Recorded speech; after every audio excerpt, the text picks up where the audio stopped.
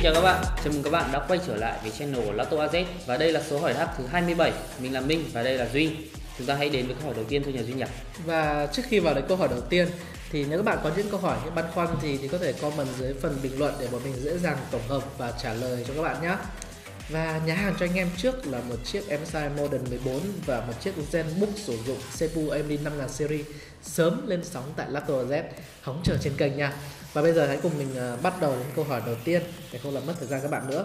Câu hỏi đầu tiên của bạn MCS Channel À, anh ơi tư vấn cho em là em đang muốn nâng cấp RAM laptop từ 4GB lên 8GB lắp cả ổ SSD 240 250GB nữa nhưng em không biết nên chọn hãng nào hay loại nào mong anh giải đáp giúp em Về việc chọn loại của RAM thì bạn có cần phải quan tâm đến tiêu chuẩn RAM này, xong rồi là cache RAM, bus RAM nữa. Lựa chọn mình nghĩ rằng là bạn có thể tháo cái con 4GB của bạn ra xong rồi là tìm một cái con mà có đúng tiêu chuẩn hoặc là và cùng bus cùng cache RAM với cả con đấy thì lắp vào thêm là Ừ. được rồi. Còn tiếp theo là về vấn đề chọn hãng RAM thì hiện nay thì Samsung là một nhà sản xuất chip nhớ mà rất là nổi tiếng trên thế giới rồi, rất là uy tín và chắc chắn rồi.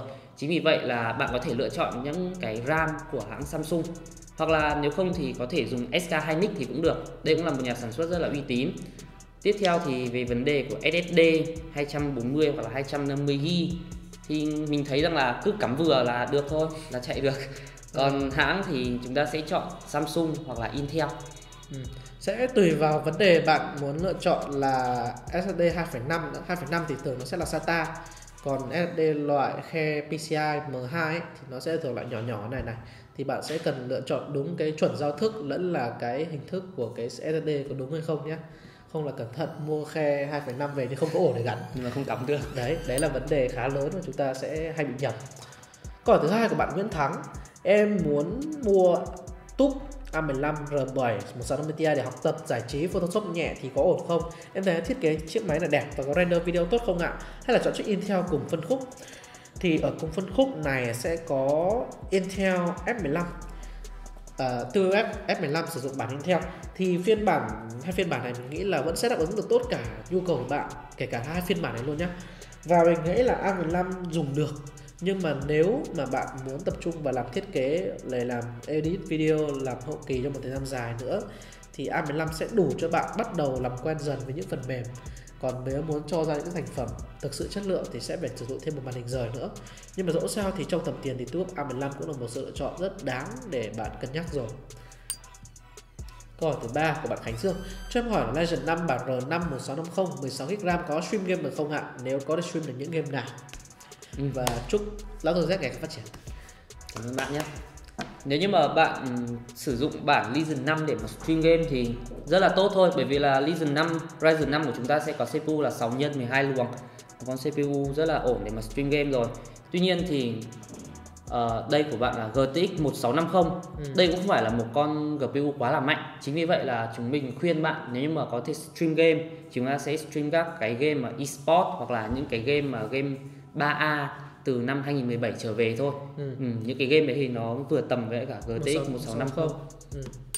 Đến câu hỏi thứ tư của bạn Nhật Quang Võ cho em hỏi là Asus VivoBook A515 thì có học thiết kế hay là chơi game được không ạ? Ở đây thì bạn lại không nói rõ là bạn chơi game gì. Đối với cả VivoBook A515 thì nếu như mà chúng ta chỉ chơi LOL, game eSport nhẹ nhàng hoặc là các cái game offline như kiểu là đế chế, Half-Life thôi thì vẫn được. Ừ. Ờ, còn tiếp theo này để học thiết kế được thì vẫn được. Tuy nhiên thì Asus VivoBook A515 thì không phải là một con máy mà có màn hình đẹp đâu. Ừ. chính vì vậy là nếu như mà bạn dùng thì có thể là đủ trong cái thời gian đầu khi mà bạn làm quen cái phần mềm thôi. Còn nếu như mà bạn muốn tiến tới làm việc chuyên nghiệp thì bạn nên đổi một chiếc máy khác hoặc là thêm màn hình rời. Ừ. tiếp theo nữa VivoBook A515 phiên bản 2020 thì chúng mình cũng đã đi tìm thử xem và thấy rằng là nó khoảng 18 triệu mà 18 triệu thì chúng ta hoàn toàn có thể mua được là ZenBook Q407 EQ chúng ta vừa có con chip khỏe này, lại còn vừa có màn hình độ phổ màu cao nữa, rất là phù hợp để bạn vừa học thiết kế hoặc là để chơi game nữa. Để làm một sự lựa chọn tốt hơn. Đó là câu trả lời của bạn Minh. Rất là cảm ơn. Câu hỏi tiếp theo của bạn Phương Lên Mai cho em hỏi là 30 triệu học lập trình game. Và chơi một số từ game A À. thì chọn máy nào hợp lý em cảm ơn 30 triệu 30 triệu Ừ. chúng ta sẽ có hai lựa chọn ngon nhất này Ừ. là sẽ có HP Omen hoặc là Lenovo Legion 5 phiên bản Max Option ừ.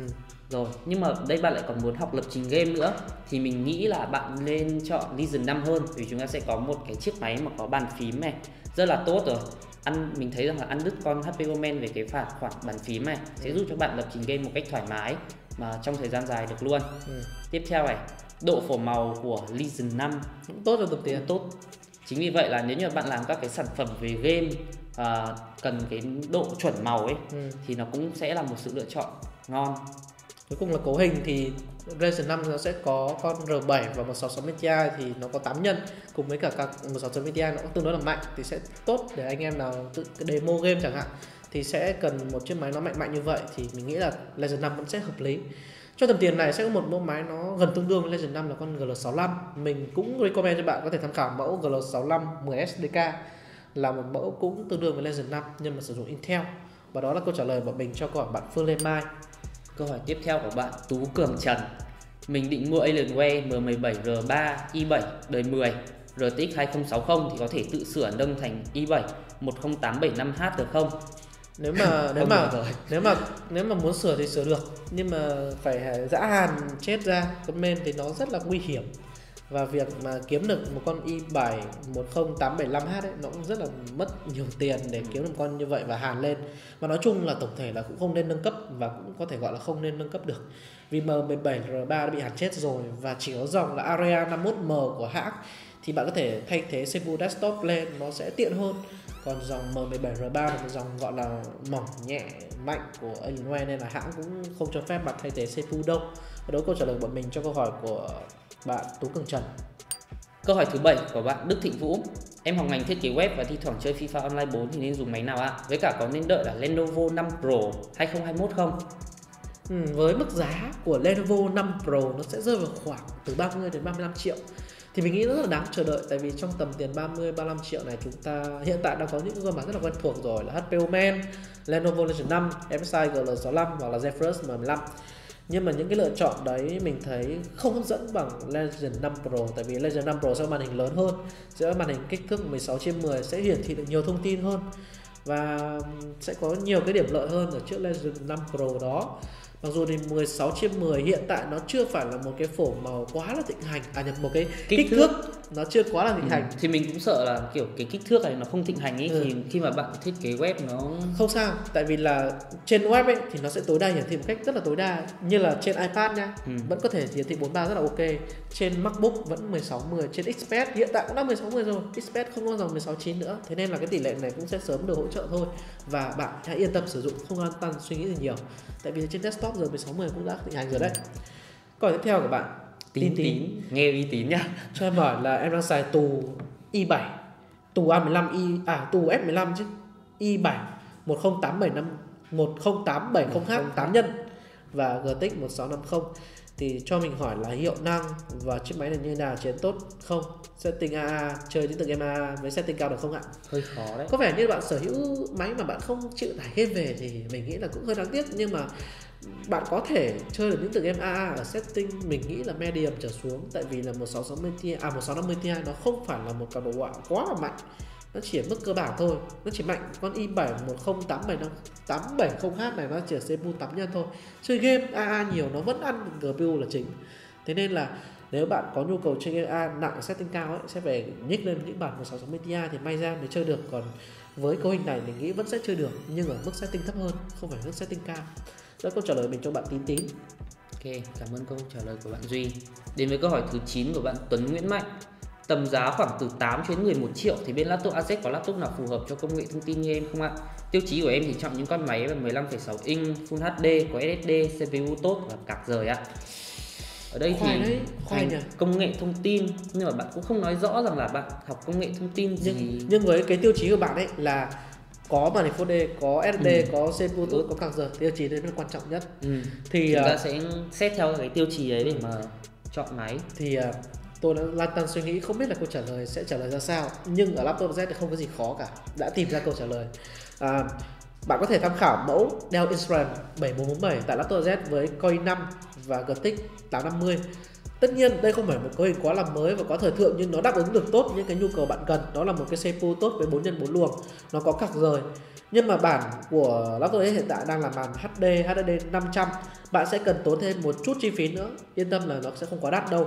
Để nâng cấp lên màn hình Full HD hoặc là SSD nó rất là rẻ thôi và vẫn có thể đảm bảo mức giá khoảng 11 triệu cho bạn.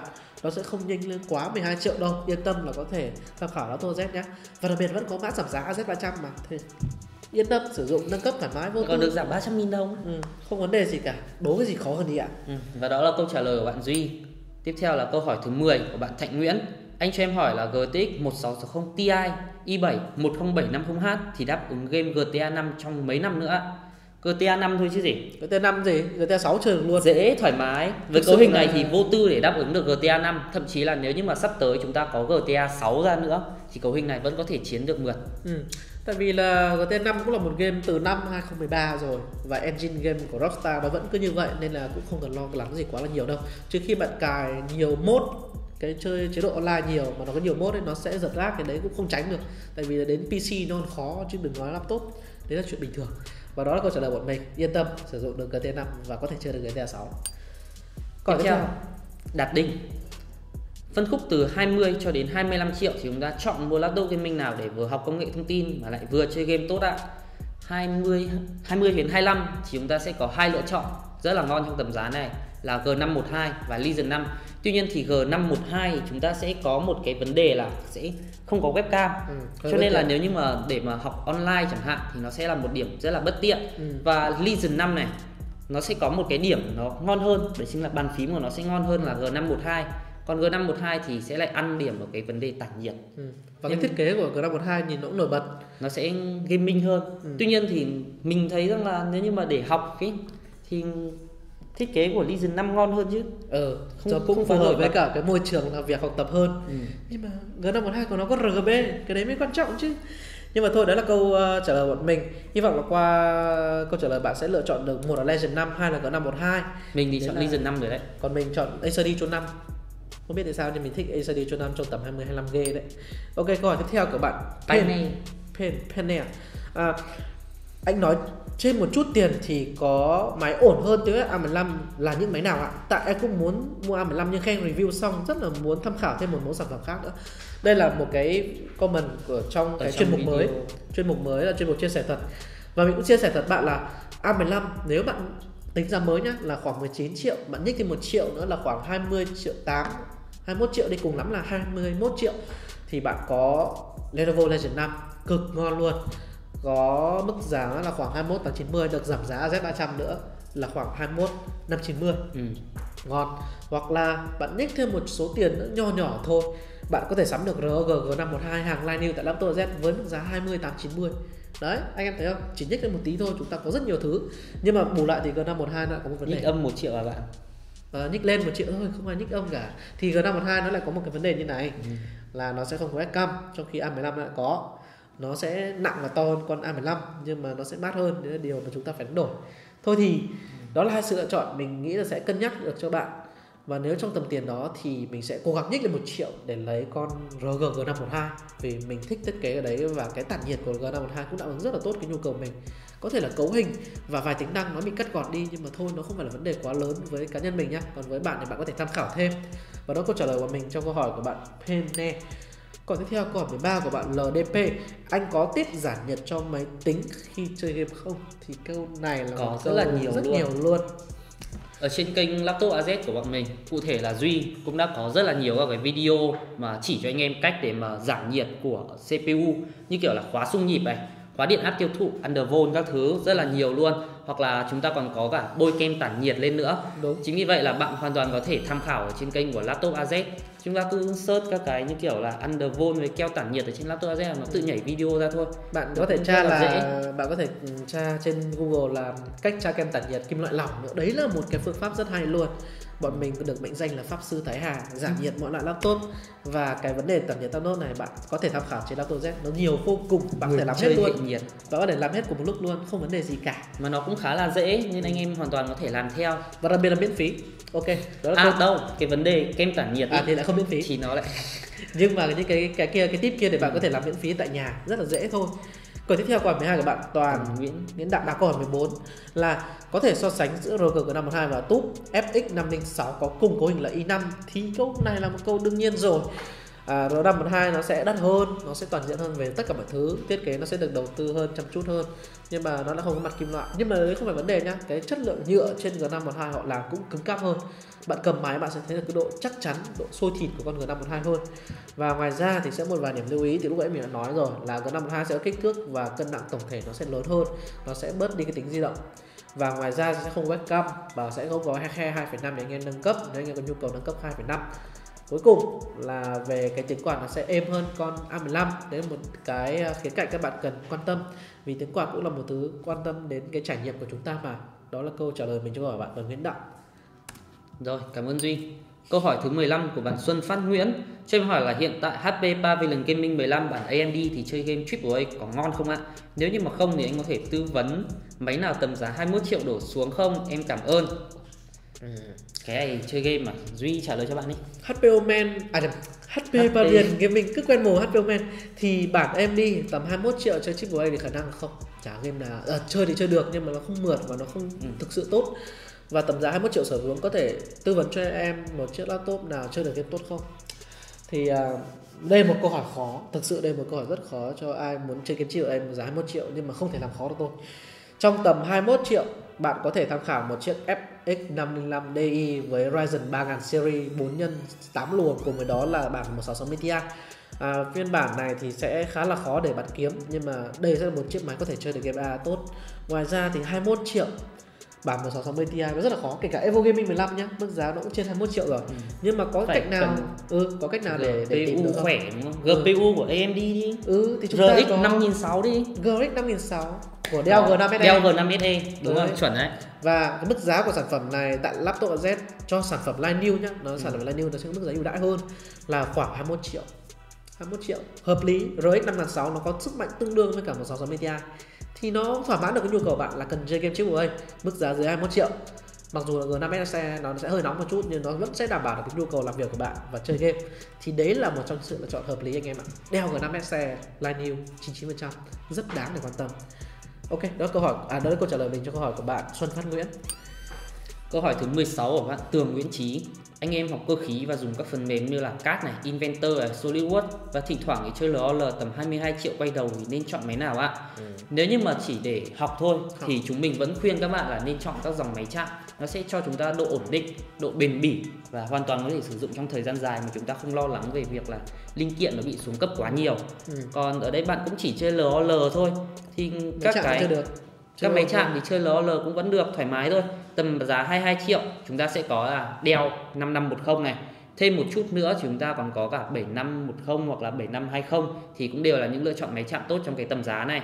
Còn ngoài ra thì nếu như là bạn máy ờ, uh, thích mỏng này à, dày khỏe và mát thì đấy là cái tùy vào cái nhu cầu của bạn. Tại vì máy chạm cũng có chia ra thành hai loại.